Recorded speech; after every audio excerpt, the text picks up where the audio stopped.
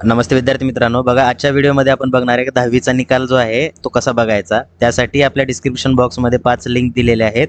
कोणत्याही एका लिंकवरती क्लिक केल्यानंतर इथे तुम्हाला दिसतोय दोन तास पंधरा मिनिट बाकी आहेत रिझल्टला म्हणजे डॉट एक वाजता तुमचा रिझल्ट डिस्प्ले होईल.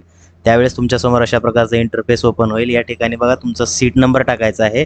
त्याच्याखाली तुमच्या आईचं नाव आणि शो रिझल्टवरती क्लिक केल्यानंतर तुमच्यासमोर तुमचा रिझल्ट डिस्प्ले होईल. रिझल्ट बघितल्यानंतर जर इन केस तुम्हाला असं डाऊट वाटत असेल की आपल्याला कमी मार्क मिळालेले आहेत तर त्यासाठी काय करायचं? त्यासाठी आपल्याला तीन पर्याय उपलब्ध असतात की रिचेकिंग असते फोटोकॉपी असते आणि रिटोटलिंग असते. त्याच्यामध्ये त्याची प्रोसेस कशी असते हे आपण पुढच्या व्हिडिओमध्ये बघणार आहे. त्यामुळे जर तुम्ही चॅनलवरती नवीन असाल तर चॅनलला सबस्क्राईब करा. तसेच ज्या विद्यार्थ्यांना दहावी बेसिसवरती डिप्लोमाला ॲडमिशन घ्यायचं असेल अशा विद्यार्थ्यांनी पण चॅनलला सबस्क्राईब करा. कारण आपण इथून पुढे डिप्लोमाशी रिलेटेड पूर्ण ॲडमिशन प्रोसेसवरती पण व्हिडिओ बनवणार आहे. ठीक आहे? तर भेटूया आपण नेक्स्ट व्हिडिओमध्ये थँक्यू